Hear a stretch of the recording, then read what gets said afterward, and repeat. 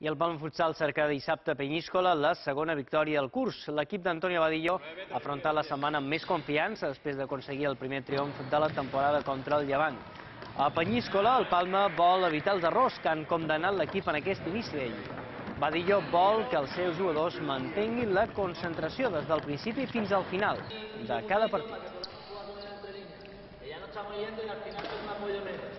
Ahora estamos un poquito más tranquilos, eh, hemos conseguido la primera victoria, eh, sabemos dónde estamos cometiendo los errores, que eso es importante, y, con la línea esta semana hemos hecho mucho hincapié en, seguir en esta línea de, de arreglar esos errores y, seguir creciendo, ¿no? seguir creciendo sobre todo en, en defensa, que, que, es donde estamos cometiendo más errores. Es una asignatura pendiente que tenemos, ¿no? el tema de, de los errores, de las desconexiones. Eh, a ver si somos capaces de que este partido eso no ocurra